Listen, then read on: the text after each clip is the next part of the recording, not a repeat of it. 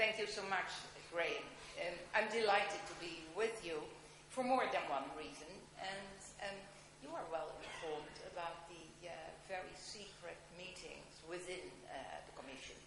Um, that blood is at the walls and will stay there. We are going on. So, having said that and talking about my past, well, uh, you are indeed uh, correctly mentioning that not everyone appreciate decisions at that time. I always say, after a while, they will accept, and not only accept, but also appreciate. But, and then I'm coming to this uh, portfolio. I'm delighted to be asked for this portfolio. A complete surprise, but that's not interesting for you, for I was not of the right political uh, color. By the way, after last night, I will get every job that I want, but I want to stay. I want to stay here, for this is the best you can imagine. And that is really something, and you were already mentioning it when we had a cup of coffee, Graham, that this is the instrument in just explaining, but not only explaining, but implementing what Europe can do to come closer to the driver's seat again. For we were in the driver's seat, and we should be closer. And if we are just explaining to the outside world, to our citizens, that the economy has to be uh, recovered, that our jobs uh, have to uh, grow, and that our level playing field has fair, but also fair to the outside world. Having said that, I think that there is an excellent opportunity in just doing it together. And that is for me clear cut, uh, clear like crystal, so to say. I need you. I need you, and I would propose, and I sincerely hope that you are in for that. So I need a type of buddyship for it's not only you, of course not, but this portfolio this issue, it is all about doing it together. And are we willing? Well, we from our side, the Commission, we are willing. And therefore, I'm accepting a lot of invitations and a lot of cups of coffee, so to say, to get your thought, to get the food for thought in our implementation of this digital agenda. We took a risk, by the way, and especially I took a risk, and I pushed my people like hell. And they will sometimes say, well, she is perhaps uh, kind uh, in her personal life, but she is a tough one in just pushing everyone. When I took over, we were aware that we had to deliver the digital agenda. And we had to do it in time. And for me, in time was just after a couple of months. And that was the risk. Completely aware of if you didn't take that decision at that time, that it should be quite early in our mandate, then we were losing time. Time is not on our side.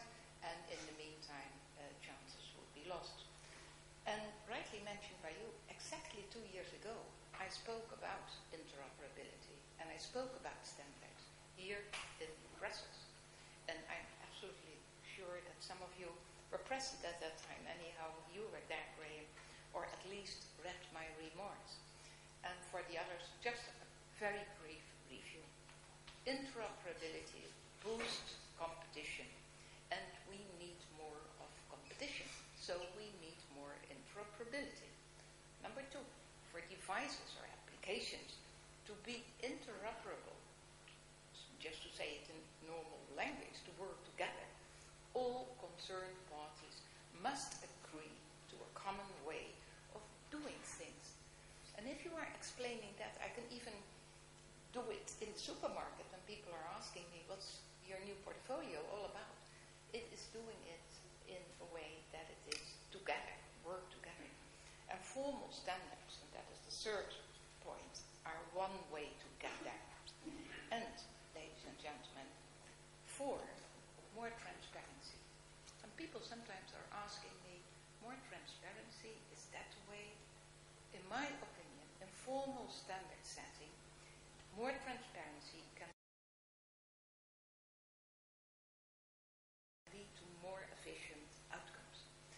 And public and private pro- procurers of technology should be smart and build their systems as much as possible on standards that everybody can use and implement without constraints, for otherwise it doesn't make sense. That is good for the bottom line because it promotes competition between the suppliers and prevents vendor lock-in. And to put it another way, as I said at the end of my speech on that occasion, choosing open standards is a very smart business decision. That speech at that time brought a general perspective to my work on competition policy. Um, well, I'm Dutch, and that means in most cases straightforward and sometimes not very diplomatic, but you get what you see and what uh, you have. So today I must apply that thinking in a more direct way as the person who has proposed the digital agenda for Europe. And of course the whole Commission is responsible for the digital agenda. And again, that was a tough fight, so to say, for this is a horizontal portfolio and is linked with all the other sectors and portfolios of my colleagues. And uh, we love each other, but to a certain point, so to say. And so it, it should be. But any in the implementation and in giving the policy in their field, we need to work together and we need the rules of the game, so to say. So in the implementation, I expect interested parties to mostly turn to me and to demand progress, and rightly so. So you know me and my people, and normally spoken, there is coffee. Therefore, let me explain what I have in mind when it comes to the topics of interoperability and standards. It is, by the way, not my intention to raise eyebrows today, uh, but I do not apologize if that is the reaction. For also body language can be quite clear and can give a signal to me. And raising eyebrows at my age, one doesn't hold back. I will start with a confession, and I'm still a big fan of open standards. I have a lot of bad habits, but one is, in my opinion, not that bad, and that is I'm consistent. And I believe in openness, and I believe in practicing what one preaches, and that is my line in life. How can you expect that people are following you or are backing you or are believing you when you are not doing what you are preaching? Some observers think open standards is a tainted term that should not to be used in the absence of a generally recognized definition. Others act as if a policy document that does not mention open standards would automatically lack merit. And I, again, pragmatic Dutch, my position is in between. I don't believe that listing keywords can substitute for policy. Whatever the labels, what matters is the substance. And don't buy when someone is trying to get you in that battle of just fighting on words. And I would urge all the stakeholders to focus on the content of the package rather than the wrapping. And well, I'm absolutely certain that this audience is of that type. In developing the substantive policy for European standard setting, it is important to start with basic questions. What is standard? What does a standard look like? And almost always the standard will be embodied in a specification, a document that describes and defines the characteristics. A device, a process, or object must have to be an implementation of a given standard. And in the case of a formal standard, the specification is drawn up by a standard setting organization pursuant to a well-defined process. For example, the process should be open and transparent and allow for participation. Why should you do it another way? And participation, if of all interested stakeholders, and not the least to ensure buy-in and market acceptance for the resulting standards. But a standard will be of only limited use for interoperability until many vendors use it as a building block for their product. Let's imagine, ladies and gentlemen, two competing standards that are both technically excellent for a certain task, but differ in the level of constraints for implementers. Which of those two standards do you think will see more implementation and use, including for unforeseen purposes? Question. The one that you can download from a website and that you can implement without restrictions, or the other one, which you have to buy, which is restricted to certain fields of use and which requires royalty payments for embodied IPRs? And the answer is obvious. And that is why everybody who cares should care about the financial conditions for the use of standards, as well as the indirect constraints imposed on certain and on third parties. The fewer constraints, the better. And reali- in reality, there are different degrees of openness between the two extremes that I have sketched out. And likely, and likewise, there is diversity of technical specifications related to interoperability. And that range from those embodying formal standards through the free public specifications and up to the proprietary information. To cover all those aspects, I've proposed five key actions in the digital agenda for Europe. Number one, have more and better standards recognized and created in Europe. Number two, to make better use of those standards.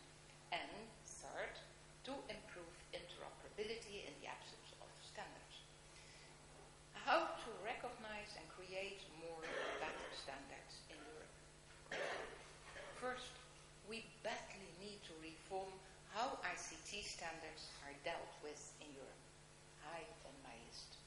Both internal Commission reflection and a wide public consultation have shown that European standardization framework is out of sync with fast-moving technology markets. And in that context, I'm, correct, uh, I'm cooperating with my uh, colleague, the Vice President uh, Tajani, very closely. And by the end of the year, the Commission will make the necessary proposals for the reform of the European standardization system. And in particular, some key reforms will be of special relevance to the ICT sector. So wait and see. We are aware that you are in a hurry. We are in a hurry. We are aware that we have to, to act and we have to deliver. The standards that power the digital world are made by the economic actors. And in Europe, only ETSI allows those actors to directly participate in the making of standards. One negative result is that the standards underpinning the emerging universal communication platform, the Internet, and the World Wide Web, including standards for content formats, are made elsewhere.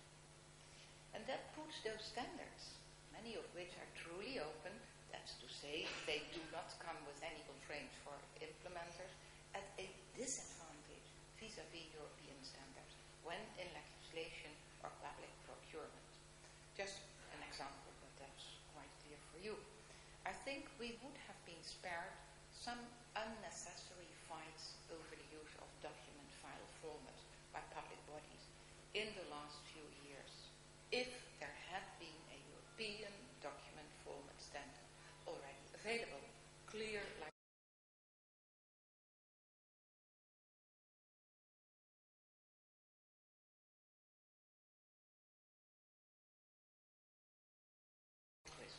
And the reform of the European ICT standardization framework is a simple way to bring relevant standards from non-traditional standard-setting organizations to an equal footing with European standards when it comes to achieving interoperability. I'm thinking here of bodies like the World Wide Web Consortium, OASIS, or similar fora and consortia. This could be done via fast track and fast track approval of their standards through a process hosted by a traditional European standards body. And that could be ETSI or through the assessment of those bodies' compliance with certain criteria regarding consensus, balance, and transparency. And second, we must use all the opportunities to promote appropriate rules for ex ante disclosures of essential IPR. And licensing conditions in standard setting context. And believe me, I have nothing against IP being brought to the standard setting table, but it must be disclosed. Any economist will tell you that you can only make a rational decision between different options if you can compare. And if you can compare the benefits and the costs, so to say. And let's face it, establishing FRAND, the fair, the reasonable, and the non-discriminatory prices is a hard task over which reasonable people often disagree. And I can assure you, we had big discussions on that issue in my last term in office. And transparency is therefore in everyone's interest. And the alternatives are not. So why risk the litigation? Why set a standard in ignorance of the cost for implementation? In some cases, the choice of a technology in a standard might be obvious in absence of technical alternatives. Cost and licensing conditions are less relevant in such cases. But in most cases, let's be honest, there are competing options and it makes clear sense to also consider The Commission has already taken an important step by drafting new guidelines on the application of the treaty's antitrust rules to horizontal agreements, and you remember that to promote an efficient and a competitive standard setting process that is protected against misuse. And the draft, which is currently available for public comment, relies on the well-established concepts of non-discrimination, transparency and availability and specifies minimum requirements that is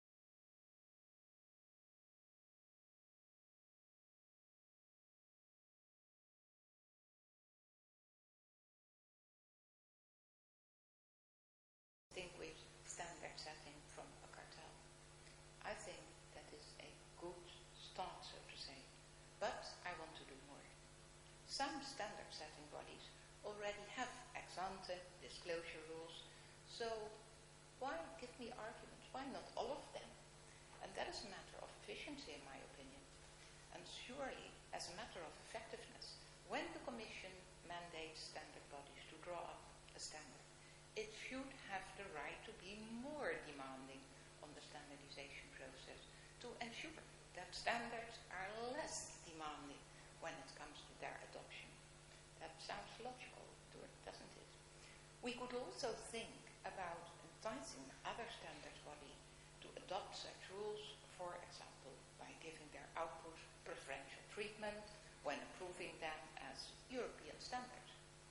And finally, why not tie the public financing of standards bodies to the existence of good ex ante rules? Let me wrap up this point, anyhow, by making one. We want to make standard setting more efficient and not more burdensome. Take that line home. We don't want uniform rules everywhere. We want smart rules that are adapted to their respective fields. And standard setting for software interoperability is not the same as setting a new standard for, say, digital television or mobile telephony. We should have the right rules in the right context. And the standardization reform I discussed earlier and the ongoing consulta- uh, consultation on the draft guidelines for the horizontal cooperation agreement will initiate a further discussion on ex ante disclosure in standard setting organizations. And I'm absolutely convinced that a more visible role for fora and for consortia, standardization in Europe will already lead to many now we have taken care of the standards and they should be available. Deal, hopefully. But what can we do to ensure they are used in a smart way? We want to help ICT procurers to avoid missing opportunities. And together with my colleague Michel Barnier and uh, with Antonio Tajani, we will draw up detailed guidance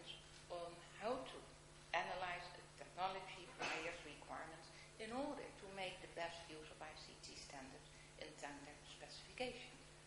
By the way, that is quite a complex exercise, and not only because three of us are involved, so three services are involved, but it is also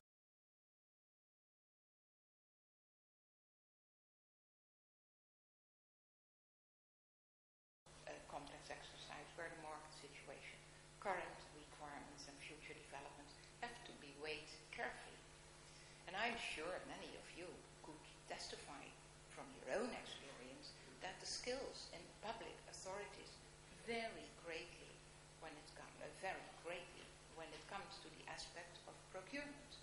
And many authorities have found themselves unintentionally locked into a proprietary technology for decades. And after a certain point, that original choice becomes so ingrained alternatives risk being systematically ignored no matter what the potential benefits could be. By the way, that is a waste of public money that most public bodies can no longer afford. They shouldn't afford at all, but nowadays they can't longer afford. And it's even worse when such decisions result in the waste of private money. And that happens where the public author- authorities' decisions force citizens to buy specific products rather than any product compliant with an applicable standard in order to make use of a public service. Come on. That could be your kid's school. It's close to all of us. Insisting on the use of a specific word processor, or it could be your tax department's online forms requiring a specific web browser. And if you have other examples, you can share. It. Don't hesitate to send them. Um, that I can use as a argument, as you can imagine. I want to make sure that guidance will be as practical as possible.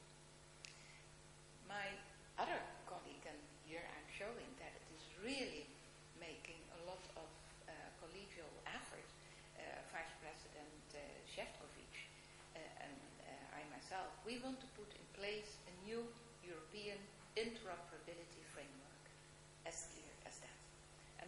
And to be sure, the exi- uh, existing version of the European interoperability framework is not bad. It even sets out a list of characteristics of open standards within the context of cross-border e-government services.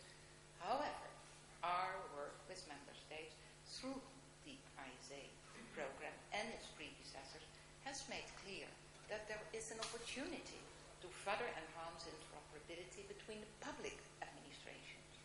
And that second version of the EIF is foreseen to be adopted at the level of the College of Commissioners and will therefore rightly be perceived as a higher status and importance than the EIF version 1.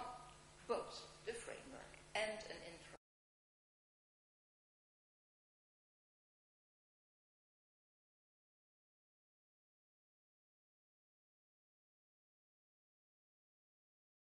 interoperability strategy paper are foreseen for this year.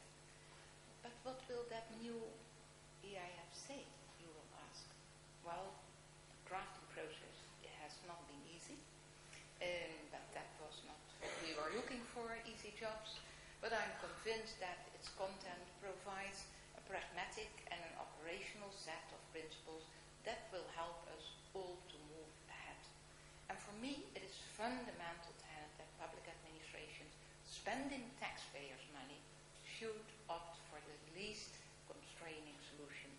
that meets the requirements for a given need. As simple as that. And such a rule as the default would shield public authorities from the dangers of long-term lock-in. And it would also ensure, ladies and gentlemen, competition between suppliers for follow-up contracts and for services. And opting for closed solutions would be possible, but on the basis of a clear justification rather than because it was the easy option or whatever other reason. Several member states have comparable policies in place, and some of which have actually been inspired by the old EIF. For example, the comply or explain policy in the Netherlands. And in my view, the Commission has a unique opportunity with the adoption of version 2 to reform its lead in this area. But what do we do when there is no standard? That when there simply is a product everybody has to use in one way or another, but there is no specification descri- describing the de facto standards it, it implements. With my colleagues in the college, I will seriously explore all options to ensure that significant market players cannot just choose to deny interoperability with their product. You no doubt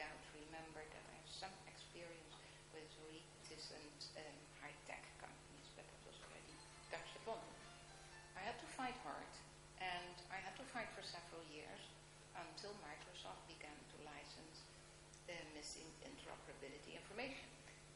Now we are there, hopefully. Complex antitrust investigations followed by court proceedings are perhaps not the only way to increase interoperability. There are other ways.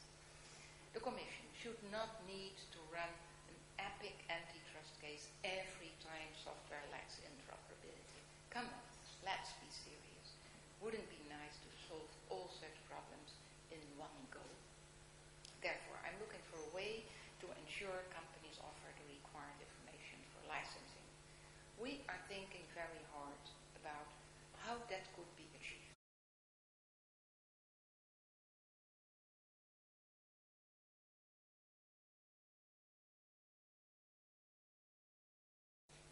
I need your input, I need your thoughts. Any such initiative would probably be limited to certain types of IT products, and I would likely involve some form of pricing constraints. Whereas in ex post investigations, we have all sorts of case-specific evidence and economic analysis on which to base our decisions.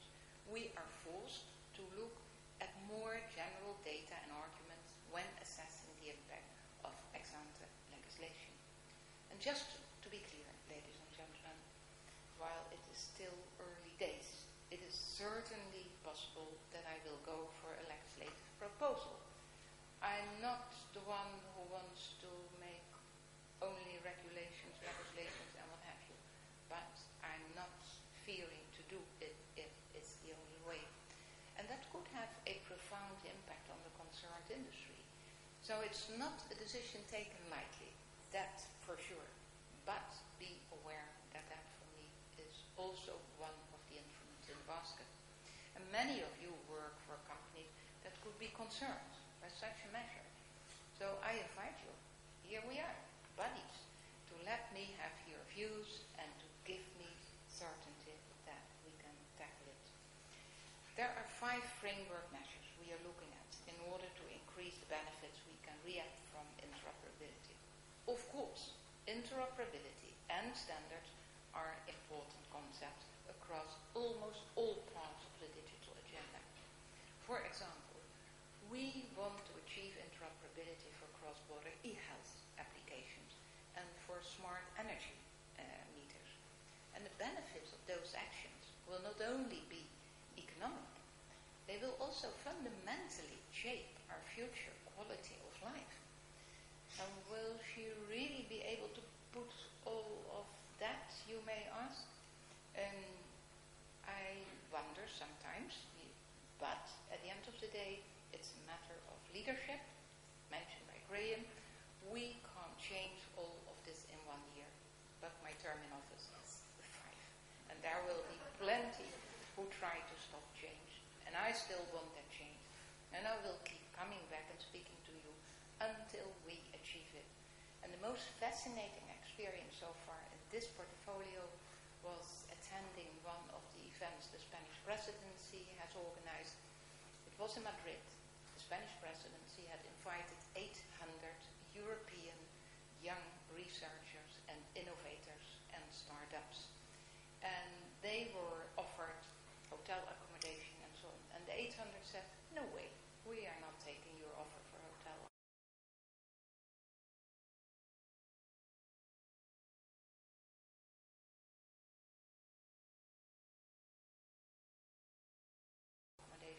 accommodation. We want tents. And they were in a very hall with 800 small tents. They were sleeping there only a couple of hours, getting out uh, four days they were staying there, gathering in just units, so to say, one for creative digitization, another for building robots and ha- what have you. There were gurus, so to say, invited to question and answer, the, and the whole procedure was going on. I was just walking with my people, and at a certain moment, the guru was standing there, good reading lips, and I was asking my people, who is that? And he said, you are only familiar with Steve Jobs and Eric Schmidt and uh, with uh, Steve Ballmer, but this is the new generation, so to say. And he addressed to his young people and he said, look at them. They are the past generation. Well, perhaps that's me.